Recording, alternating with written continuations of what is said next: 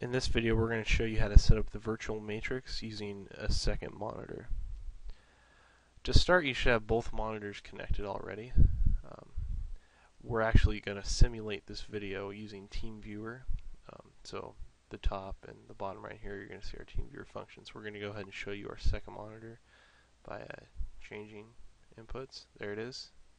Second monitor nice and blank. And this is our live screen monitor. Um, you basically want, at this point, you want to right click, go to screen resolution. Make sure your monitor, number one, your main monitor, is has an extended desktop to monitor 2, right here, extend these displays. Um, it's recommended that both these monitors be the same resolution for the best um, possible experience with virtual matrix. We're going to close that and we're going to open up the DVR system.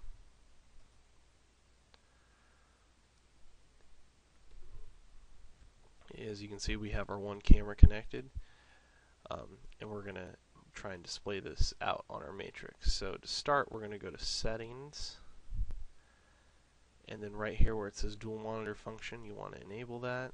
It's going to tell you you need to restart the DVR program. Click OK. Yes, and then we're going to restart the program.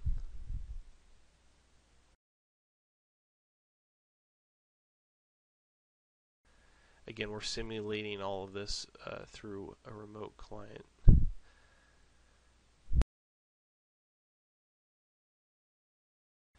After it's been restarted, you can right click any live camera and go to dual monitor setup. Here you're going to expand the TV client list, which should read 127.0.0.1. And you're going to see TV1 and TV2. Now TV1 is going to have an X through it because that is your live monitor. That's the monitor you're working on now. TV2, you want to add that to the client monitor list and then select it and go to Setup. Here it's going to show you uh, four partitions by default. And if you expand the local DVR here, list to your left, you're going to see your cameras. Now, you can set this up to where you can have more than just four cameras in the partition. You can set it up to 16 cameras at once in the partition. Then from here, um, you can change the partition to whatever the partition size to whatever you want 1, 4, 9, or 16. And this changes how many cameras will display at once on your second monitor. So for instance, if you only want one camera to display on the second monitor, you can go to partition mode 1 and then drag the camera you want to display. Also, if you only want one camera displaying, this one camera to take up the whole screen, you can add camera 1 and then camera 2. And what happens here is it'll display camera 1 for an X amount of time and then rotate to camera 2 for an X amount of time and then back to camera 1 and you can do this with multiple cameras. You can go camera 3, 4, and it will rotate through all those in that order. Um, and you can really put in whatever order you want. And then to change the time that it stays on each camera, you go down here to interval, change it from disabled all the way from 5, 10, 15, 20 in intervals of 5 to 1 minute, which is 60 seconds. So if we have this set on 60 seconds, it'll stay on camera 1 for 60 seconds, change to camera 2 a minute later, camera 3 60 seconds later, camera 4 a minute later, so on and so forth. Um, and then you can adjust you can just adjust this accordingly. Um, to remove cameras from a partition, you just right click them. You can double right click to um, delete all. Um, but we're going to set up a partition mode of 4. And we're going to drag camera 1, 2, whoops.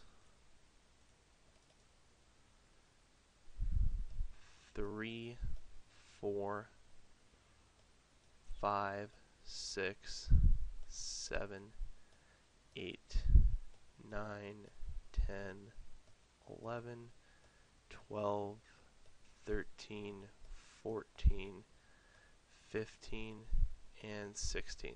So we have a partition mode of four with four cameras on each on each partition and we're going to change the dwell time to 10 seconds each that means on the first partition over here it'll stay on camera 1 for 10 seconds and then it'll go to camera 5 and then camera 9 and then camera 3 with 10 seconds in between each camera. Same with this partition with camera 2, 6, 10, and 14. Same over here with 3, 7, 11, 15. And same over here with 4, 8, 12, and 16. So we're going to go ahead and save and exit. Save. It'll pop up save successful. Okay. Exit. And now we're going to go take a look at our second screen, which is this. Now, you, as you can see, 1, 2, 3, and 4 are just all black, and then it changes to 5, 6, 7, 8. That's because we don't have any cameras attached. It'll change here in a second to a camera we do have attached, though. Just change again to 9, 10, 11, 12. And I believe the next change has our camera on it. There it is, camera thir or camera 14. And it'll display for 10 seconds and loop back around.